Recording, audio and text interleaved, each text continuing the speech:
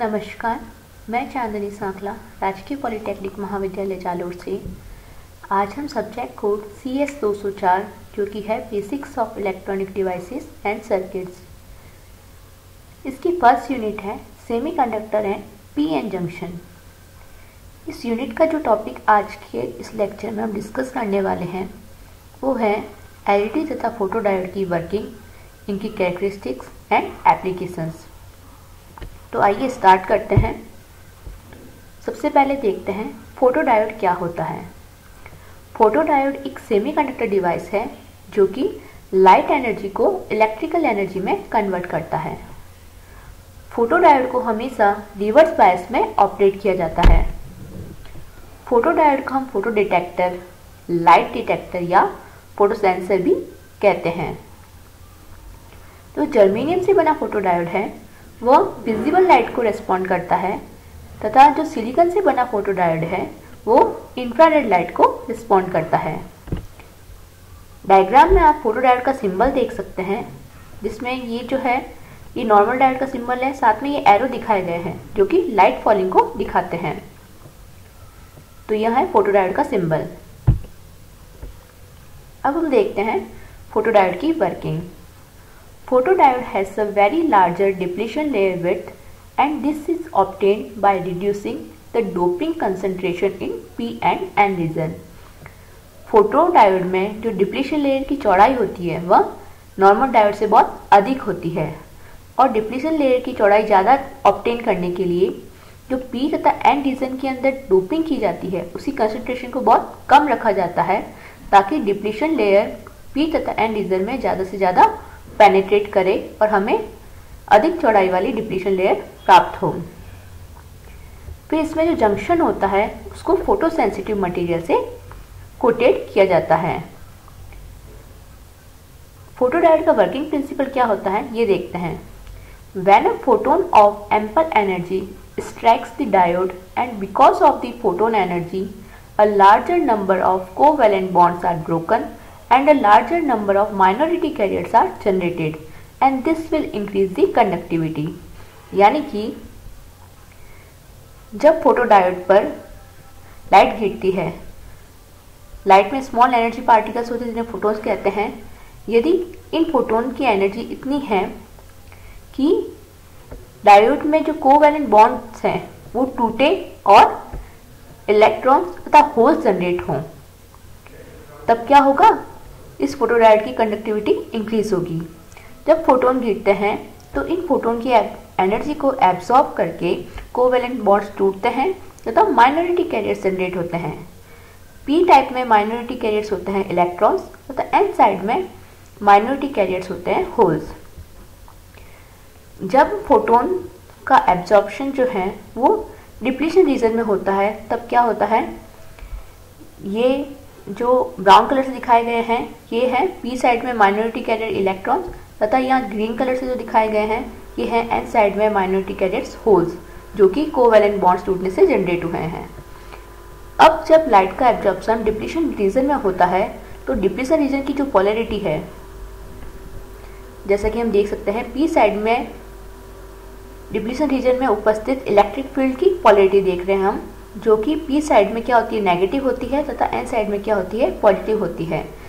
इस electric field की polarity के कारण जो इलेक्ट्रॉन्स हैं, वो कहाँ मूव करते हैं? एन साइड की तरफ़, क्योंकि यहाँ नेगेटिव पॉलरिटी है और इलेक्ट्रॉन्स पे भी नेगेटिव चार्ज होता है तो ये प्रतिकर्षित होकर एन साइड की तरफ़ मूव करते हैं। सिमिलरली जो एन टाइप में जो होल्स हैं, वो इस पॉजिटिव पॉलरिटी से प्रतिकर्षित होकर पी साइड की तरफ़ मूव करते हैं। तो इस तरह लाइट फोटोडायोड पे लाइट गिरने पर क्या होता है? इसके थ्रू एक करंट फ्लो होती है। इस करंट को हम कहते हैं फ़ोटो करंट और इस इफ़ेक्ट को हम कहते हैं फ़ोटो इलेक्ट्रिक इफ़ेक्ट। अब फोटोडायोड में जो करंट होती है, उसके दो कंपोनेंट्स होते हैं। पहला है आई नॉट या आई डार्क। ये होती है थर्मली जनरेटेड करंट और डार्क करंट, जो कि माइक्रो एम्पियर्स में होती है। जब फोटोडायोड पे लाइट नहीं गिरती है, जब ये अंधेरे में होता है, लाइट नहीं गिरती है, तब थर्मली जनरेटेड इलेक्ट्रॉन्स तथा होल्स के कारण जो करंट फ्लो होती है उसकी बहुत ही कम होती है, उसे हम आई नॉट या आई डार्क कहते हैं। फिर है आई फोटोन आई फोटोन है current in photodiode due to photon energy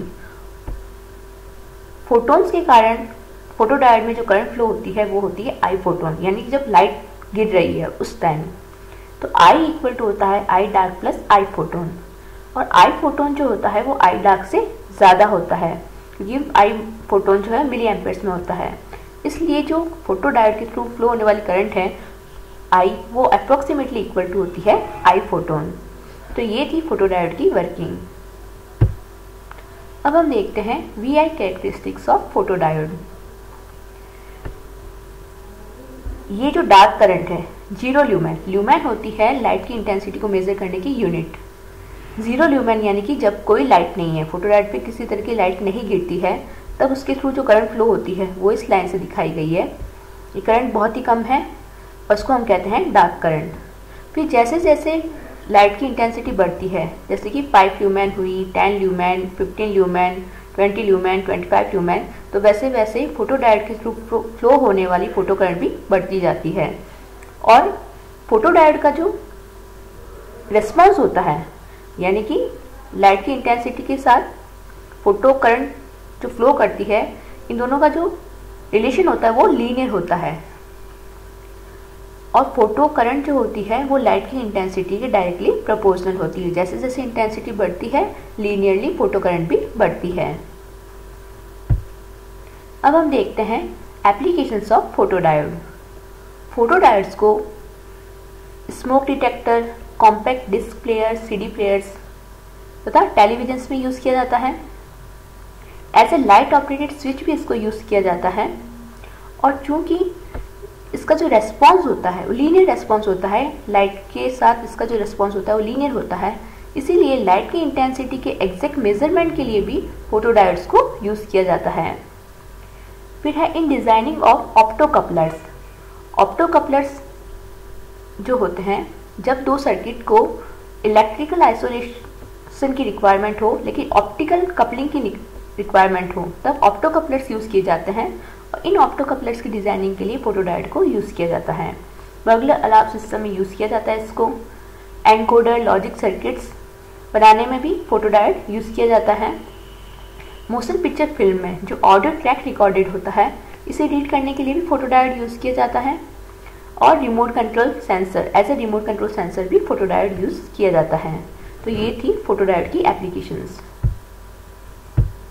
अब हम देखते हैं एलईडी एलईडी क्या है? लाइट एमिटिंग डायोड ये एक पीएन जंक्शन डायोड ही है बट ये स्पेशली डोप डायोड है और स्पेशल टाइप ऑफ़ सेमीकंडक्टर से बनाया जाता है, क्योंकि ये नॉर्मल डायोड से अलग है स्पेशल एप्लीकेशन है इसकी लाइट एमिट करना, इसलिए ये स्पेशली डोप डायोड है।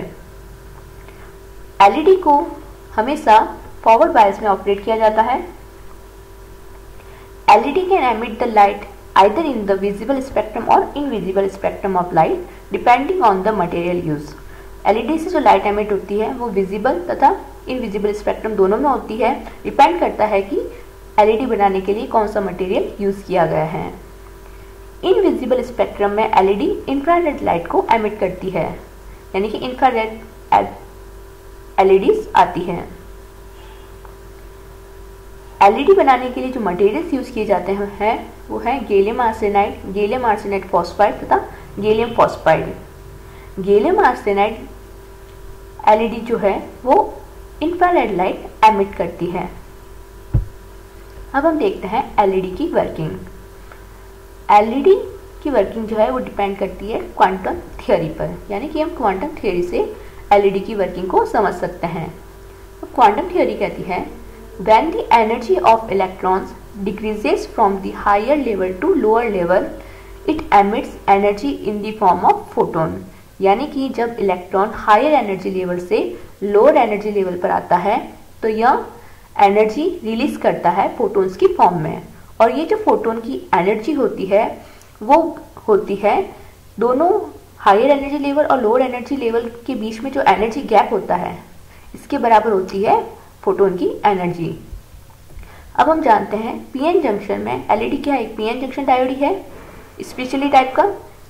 तो इसको जब फॉरवर्ड बायस किया जाता है तो होल्स और इलेक्ट्रॉन्स क्या करते हैं? जंक्शन को क्रॉस करते हैं. एन साइड में जो इलेक्ट्रॉन्स हैं फ्री इलेक्ट्रॉन्स हैं, वो कंडक्शन बैंड में होते हैं तथा पी टाइप में जो होल्स हैं, वो वैलेंस बैंड में होते हैं. तो जब डायोड को फॉरवर्ड बायस किया जाता है तो ये इलेक्ट्रॉन्स एन साइड से पी साइड की तरफ़ आते हैं और पी साइड में वैलेंस बैंड में जो होल्स हैं, उसके साथ रिकम्बाइन होते हैं। इस तरह इलेक्ट्रॉन की एनर्जी में चेंज होता है। कंडक्शन बैंड से वैलेंस बैंड में आता है। तो जब यदि यह नॉर्मल डायोड होता है तो ये जो एनर्जी गैप होता है, वो रिलीज़ होता है हीट की फॉर्म में। लेकिन एलईडी जो है, इसमें ये जो एनर्जी रिलीज़ होती है। जब इलेक्ट्रॉन कंडक्शन बैंड से वैलेंस बैंड में आता है तो जो एनर्जी रिलीज़ होती है, वो लाइट की फॉर्म में होती है। इस प्रोसेस पूरे प्रोसेस को हम कहते हैं इलेक्ट्रोल्यूमिनेसेंस, और जो डायोड होते हैं, उनको हम कहते हैं लाइट एमिटिंग डायोड। ये हम देख सकते हैं डायग्राम में। ये डायोड को फॉरवर्ड बायस किया गया है। ये एलईडी का सिंबल है। ये एरो दिखा रहे हैं कि जब इसको फॉरवर्ड बायस किया जाता है तो लाइट एमिट होती है। ये डायोड एलईडी का सिंबल है। इसको फॉरवर्ड बायस किया गया है। और ये जो इलेक्ट्रॉन्स हैं एन साइड में ये कंडक्शन बैंड में है और पी साइड में जो होल्स हैं वो वैलेंस बैंड में है। और इन दोनों बैंड की जो एनर्जी का गैप है, वही जो फोटोन रिलीज़ होती है, उसकी एनर्जी होती है। तो ये थी एलईडी की वर्किंग अब हम देखते हैं V I characteristics of LED diagram में अलग अलग कलर की एलईडी के लिए वोल्टेज करंट रिलेशन दिखाया गया है, जैसे कि इंफ्रा रेड के लिए रेड कलर के लिए amber yellow green blue and white colour के लिए. फॉरवर्ड वोल्टेज के साथ फॉरवर्ड करंट किस तरह फ्लो होती है? इस रिलेशन को दिखाया गया है.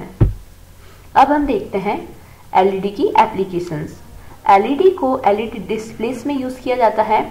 तो टीवी स्मार्टफ़ोन आदि की बैक लाइटिंग के लिए एलईडी यूज़ की जाती है. ट्रैफ़िक लाइट सिग्नल्स जो होते हैं, उनमें एलईडी यूज़ की जाती है। मोटर व्हीकल्स बाईसाइकिल इनमें जो अलग अलग इंडिकेशन की अलग अलग लाइट्स होती हैं, उनमें एलईडी यूज़ की जाती है। रिमोट कंट्रोल में आई आर यूज़ की जाती है और दूसरे तरह के इंडिकेशन के लिए अलग अलग कलर की एलईडी यूज़ की जाती है।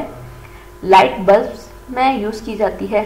जो खिलौने होते हैं, उनमें भी एलईडी यूज़ की जाती है और डेटा डिस्प्लेइंग बोर्ड जो होते हैं, उसमें भी एलईडी यूज़ की जाती है। इस तरह आज के लेक्चर में हमने फ़ोटो डायोड तथा एलईडी की वर्किंग इनकी वी आई कैरेक्टरिस्टिक्स और इनकी एप्लीकेशन पड़ी है। Thank you